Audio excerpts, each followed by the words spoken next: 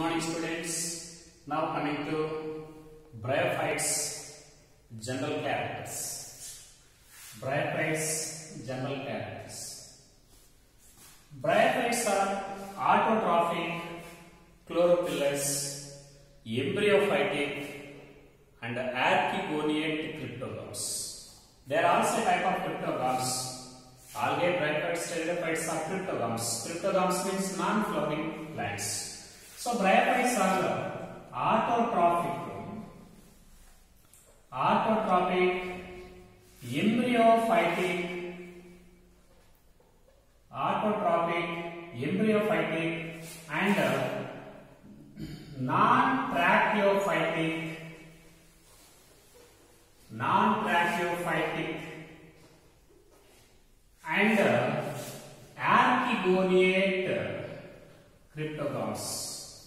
archegoniate cryptogams. Archegoniate cryptogams. Cryptogams means non-flowering plants. Cryptogams, very very important. These called uh, bryophytes. They are called uh, bryophytes. So they are non-autotrophic and embryophytic. Embryo is found at the first time in bryophytes in uh, plant kingdom. Embryo is there, so that they are called embryophytes. Non-tracheophytic or atracheophytic. Tracheophytes means plants with uh, both xylem and phloem, vascular tissues. They are a type of non-vascular plants, non-tracheophytes and archegoniatic plants. What are archegoniatic plants? Archegonium is a female sexual organ. Plants which produce archegonia in their life cycle. They are called archegoniates. Bryophytes are the first archegoniates in a plant kingdom. They are archegoniates and they are cryptogams means non-flowering plants. Anyhow, autotrophic, embryophytic, non-tracheophytic, archegoniatic cryptogams are called bryophytes. So these bryophytes are also called amphibians of uh, plant kingdom. Amphibians of plant kingdom. Very very important. Amphibians of uh, plant kingdom. Why these bryophytes are called uh, amphibians of uh, plant kingdom? Bryophytes are called amphibians of plant kingdom because these bryophytes are generally they are present in moist, damp, shady localities and uh, they are dependent on water for sexual reproduction. So are called amphibians of plant kingdom because they are present in a moist, shady, damp localities. Moist, shady, damp localities because they are dependent on water for sexual reproduction. Dependent on water for sexual reproduction. Very, very important. Why are called amphibians of plant kingdom? They are usually present in moist, shady localities and are directly dependent on water for sexual reproduction. So that these uh, bryophytes are also called uh, amphibians of uh, plant kingdom. Similarly, these bryophytes are the first primitive plants. Primitive plants. They are very primitive land plants. Very primitive land plants. Okay, and bryophytes they are also called uh, first uh, land plants. Very very important. Bryophytes are also called uh, first land plants. Why they are called first land plants? Because they are first adapted to the land life at the first time in plant kingdom. Bryophytes are they are first adapted, just adapted to the land life at the first time. Because of this reason, they are considered as primitive land plants and also called uh, first land plants. Bryophytes are not only the first embryophytes, but also the bryophytes are the first land plants because they are uh, adapted to the first, they are adapted to the land life at the first time in a plant kingdom. At the same time, these bryophytes they also play very significant role in a plant succession, plant succession on bare rock, plant succession on bare rock. Okay, plant succession. The beginning of the plants in the first time in an area, the starting of plants in a, a new area, that is considered succession. So, bryophytes, they play very significant role in a ecological succession, especially on bare rock. This is the importance of bryophytes. Similarly, these bryophytes plant body is uh, haploid gametophytes. Plant body, it is in the form of uh, thallus. It may be in the form of thallus. Thallus means undifferentiated plant body, in which the plant body is not differentiated into roots, stem and leaf. Undifferentiated plant body is called thallus. Just like the members here also, plant body it is in the form of thallus. Sometimes it is uh, maybe prostrate, prostrate, or sometimes it may be erect, prostrate or erect.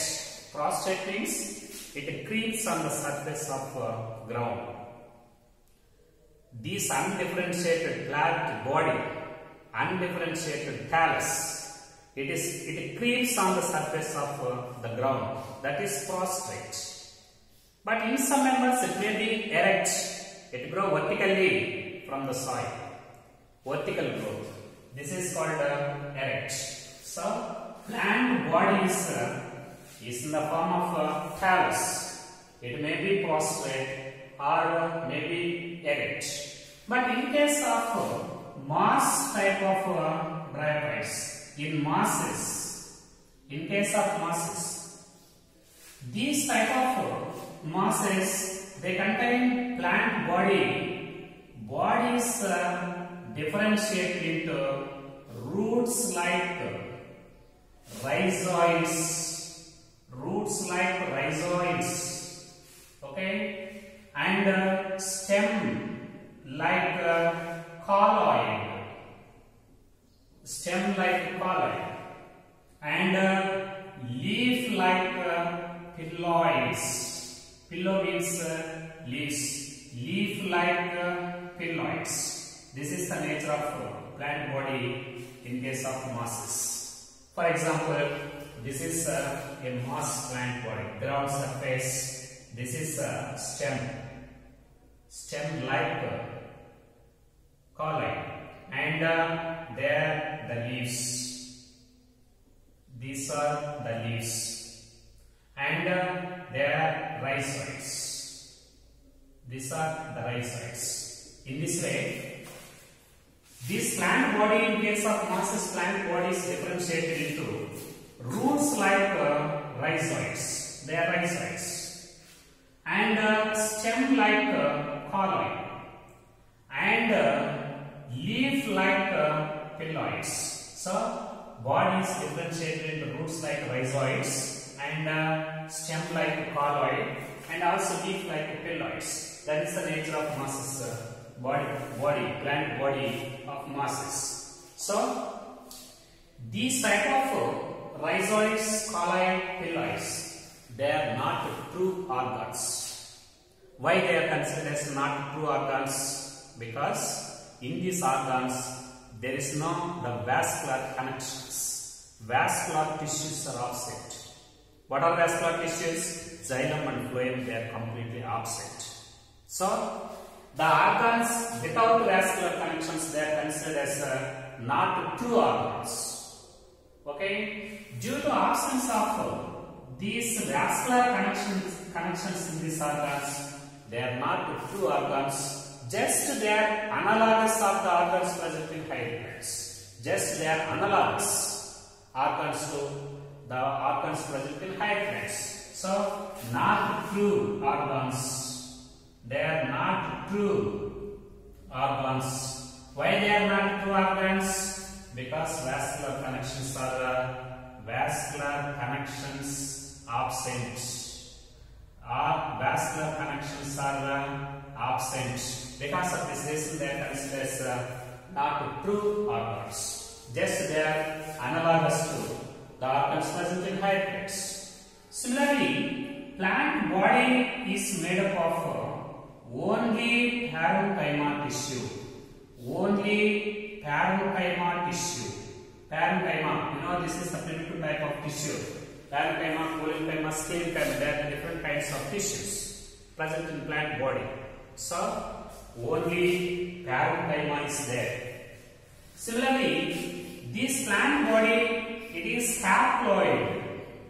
Haploid means only one set of chromosomes are present in each and every cell. Haploid. And uh, it produces male and uh, female gametes. Male and female gametes by mitosis. Mitosis. So, already plant body is in haploid condition. There is not the need of meiosis for the formation of gametes. There is not the need of reduction of chromosome number during the time of uh, gametic formation. So, always gametes are haploid. Here plant body is already in haploid. So that male and female gametes are formed directly by mitosis and hence this plant body, this is called a gametophyte. Plant is called a gametophyte. So this is called a gametophyte. Gametophyte. This gametophyte is represented by haploid number of chromosomes. So this is uh, a, a gametophyte. Here the gametophyte is differentiated into rhizoids and cauloid and phylloid. These produce male and female gametes directly by mitosis. So that such haploid plant body, this is called a gametophyte. This is uh, the gametophyte. So, the entire plant body is made up of only gametophyte. At the same time, they produce male and female gametes directly by mitosis. So that plant body is a gametophyte. Similarly, these bryophytes, they also produce means uh, they reproduce by sexual reproduction. Sexual reproduction. But this sexual reproduction, it is uh, directly dependent on water. Sexual reproduction is directly dependent on water. Especially what is necessary for the movement of male gametes. So sexual reproduction requires water. And the sexual organs of bryophytes, sexual organs, these are multicellular multicellular sexual organs are multicellular at the same time these sexual organs are also stalked stalked stalk means entire sexual organ is represented by very small stalk pedicellate stalked they are multicellular and stalked and uh, jacketed and jacketed very very important. Multicellular stalked and jacketed jacketed means every male and female sexual organ it is covered by a protecting layer that is also called jacket. Multicellular stalked jacketed at the same time the male sexual organ male sexual organ this is called uh, antheridium. This is uh, antheridium. Male sexual organ is called antheridium. And uh, this antheridium usually is uh, club shaped. This is uh, club shaped. And it also produces several male gametes. Male gametes. These male gametes are also called uh, antherozoids. Antherozoids male gametes are also called uh, antherozoids. For example, this is a male sexual organ. This is club shape and uh, it produces many male gametes. This produces male gametes. For example, this is a male gamete. Antherozoites. Male gametes are called antherozoites. Similarly, the female sexual organ. Female sexual organ is called archegonium. Archegonium. This is called archegonium. So this archegonium, it is uh, flask shaped. Flask shaped like this. This is uh, archegonium. This is an archegonium. Okay, this is represented by three parts. This is uh, venter, this is uh, neck, venter and the neck. Okay, so this female gam female organ archegonium, it is represented by only one egg cell. It produces only one egg cell. This is also called female gamete. So Many male gametes are formed inside this male gamete of gam male sexual organ antherium. They are called male gametes or antherozoites. But only one female gamete is formed inside the female sexual organ that is in a archegonium. Such a single non-motile female gamete is called a egg. Now these uh, male gametes and uh, they are uh, completely fused leading to the formation of uh, zygote formation of uh, zygote. This is uh, haploid and it's also haploid. All these gametes are haploid. As a result of fusion of male and female gametes leading to the formation of uh, zygote this is uh, diploid. Here small motile male gametes they are fused with non-motile stationary. Small motile male gametes are fused with these male gametes they contain flagella, motile. Fusion of small flagellated motile male gametes with non-motile egg. This is called zooidogamy. This is called So sexual reproduction is uh, zooidogamous and. What is zooidogamy? The fusion of uh, small motile male gametes with a large stationary female gamete. That is called uh, zooidogamy. Now this zygote, it is uh, two-year. Zygote it divides by mitosis leading to the formation of uh, embryo. It is also diploid. This zygote develops into embryo. Now this embryo it develops into the sporophyte. Sporophyte. This is uh, the second uh, stage of the life cycle. This is gametophyte. Male plant body is gametophyte. After sexual reproduction, embryo develops into the sporophyte. So, gametophyte, dominant, independent gametophytes and uh, sporophytes, they show alternation of generation in life cycle. Such life cycle is called a haplodiploidic life cycle. Haplodiploidic life cycle, very very important. Haplodiploidic life cycle is there. Okay. Now, these sporophytes, it also produce these sporophytes, this sporophyte it produce uh, spore mother cells. Sporophyte it produce spore mother cells, they are uh, diploid. Now these spore mother cells that divides by meiosis leading to the formation of uh, haploid spores. Every diploid nucleus it divides by meiosis leading to the formation of total haploid spores. And all these spores they are similar.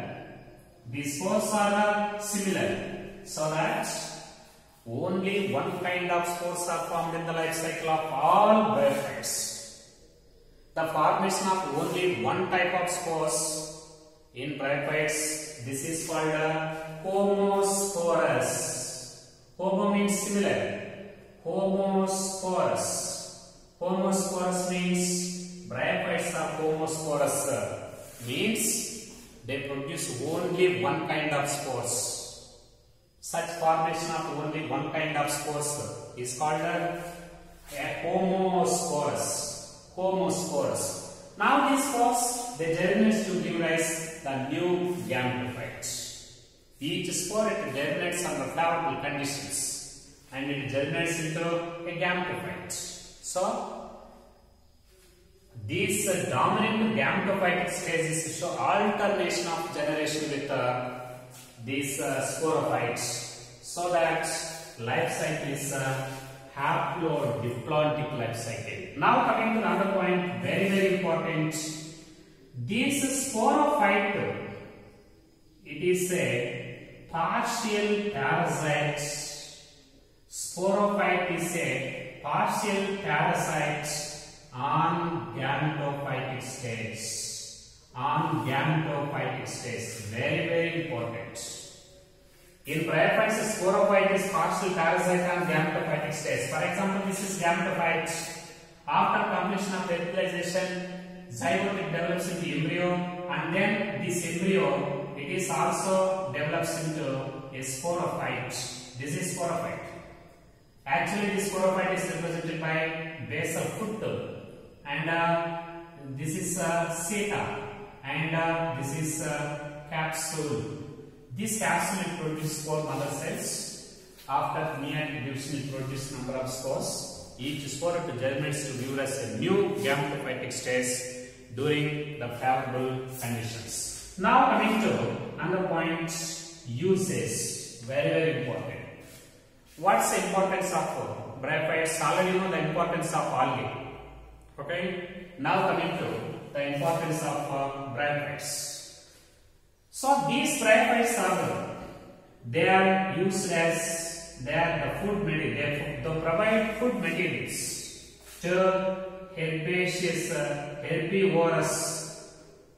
These bryophytes they produce food materials to herbivorous mammals.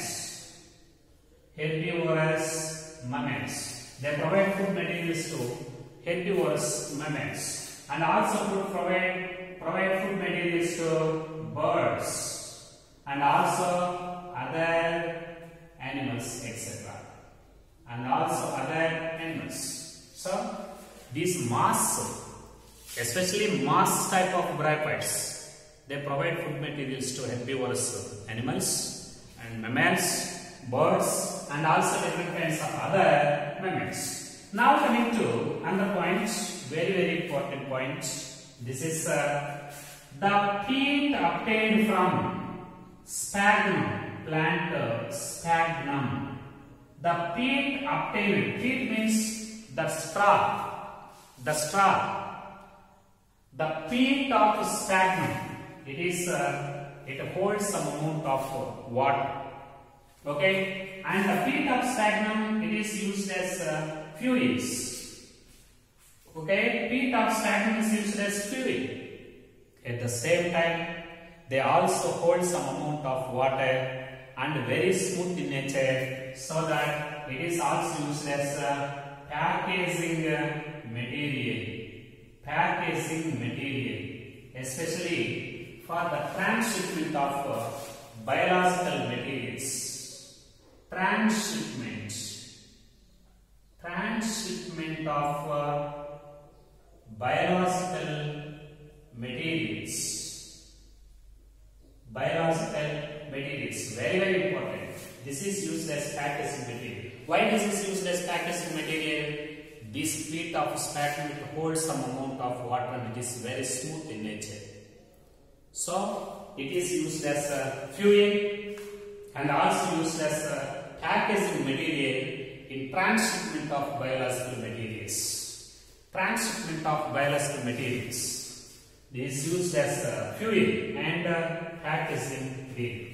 At the same time, these bryophytes along with the lichens, Bryophytes along with the lichens, they play very important role in ecological succession.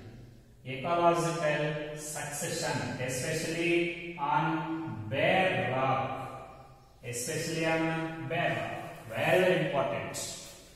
Bryophytes, bryophytes along with lichens, they play very significant role in ecological succession on bare rock. At the same time, these mosses they grow as uh, dense mats, dense mats on the surface of uh, ground. Actually, these mosses they grow as dense mats on the surface of ground. Many rhizoids they penetrate into the soil particles. These rhizoids they penetrate the soil particles and they holds the soil particles and uh, these uh, reduce the impact of uh, these reduce the impact of falling rains. They reduce the impact of uh, falling rains. At the same time, these uh, masses they play a very significant role in checking. They also uh, prevents soil erosion. Prevents soil erosion. Prevents soil erosion. What is soil erosion? After a heavy rainfall, the superficial layers of the ground, it is uh, drains away. Such loss of the superficial layer of the soil by heavy rains, that is called uh, soil erosion. Because of this soil erosion, the soil will lose some amount of uh, fertility. The valuable minerals present in the super, superficial layers of the soil, they drains away from, they drains along with water after heavy rainfall. So that these type of mosses, uh, they grow, they grow as dense mats on the surface. And uh, they also check the uh, soil erosion. They also reduce the impact of, uh, they also reduce the impact of uh, soil erosion. This is uh, the importance of uh, bryophytes. This is the nature of bryophytes.